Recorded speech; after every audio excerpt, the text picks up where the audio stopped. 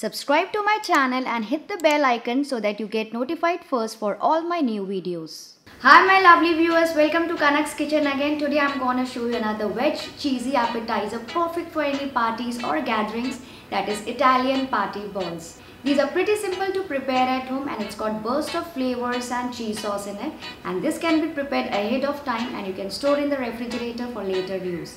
So without any delay, come quickly I'll show you what you need for this.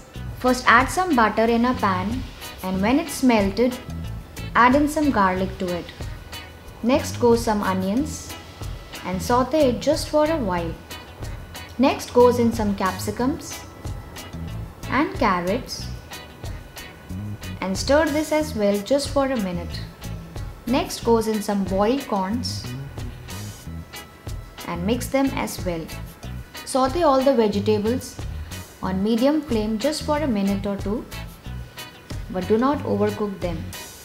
Now to this I am going to add in some all-purpose flour or maida and saute it on low flame allowing the flour to cook well as we'll be preparing white sauce out of it. Just normally how you prepare white sauce pasta.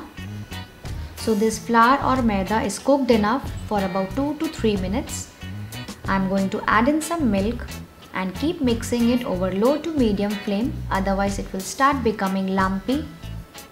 So keep adding the milk and mixing it to prepare a thick pouring consistency out of it.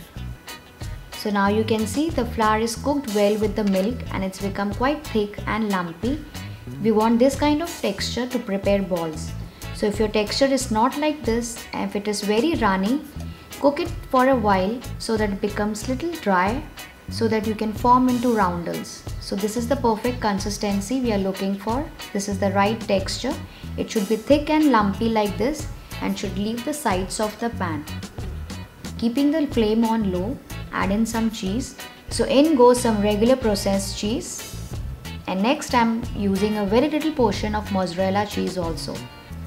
You can use any cheese of your choice. Next goes in some salt, pepper, red chili flakes and oregano or you can also use some mixed herb seasoning. And let this mixture cook just for a while until it thicken enough but do not overcook it. So it's cooked enough, it's combined well with the thick lumpy dough. Remove it onto a plate and then spread it a bit so that it cools down nicely and then refrigerate this mixture for some time or until you feel you can form shapes or balls out of it. So I'm going to keep this in the refrigerator for about half an hour to 1 hour. So it's set enough now as you can see when I'm touching it it's become quite firm I'm going to take a small portion with the help of my greased hands and roll it well to form a roundel out of it which is quite smooth. So you can make big or small roundels out of it. You can see this is how it looks. Likewise prepare all the roundels and keep ready. So this batch of Italian cheesy balls is ready. Now I'm going to dip this into the corn flour mixed water.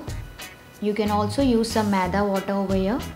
Drip the excess out of it and then immediately roll them into breadcrumbs. So roll them into the breadcrumbs evenly to coat the ball on all the sides. So coat them well so that they do not break apart while frying. So make sure you coat them nicely on all the sides. And if you want you can double coat them also for a more crispier option. So this batch is also ready with the coating. You can refrigerate these at this point of time for about 2 to 3 days for storing and then fry whenever needed.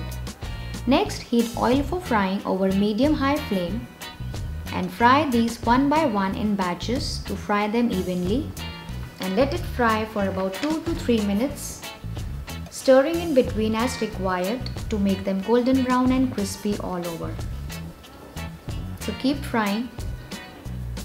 So these are fried enough. As you can see it's got beautiful color on it. It looks so tempting and crunchy already.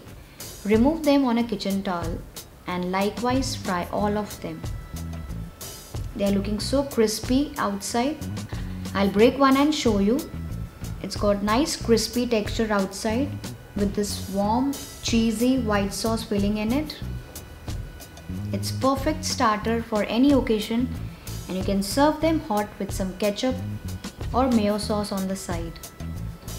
So I hope you found this video helpful today. If yes, then do like the video, share the video and subscribe to my channel. Happy cooking!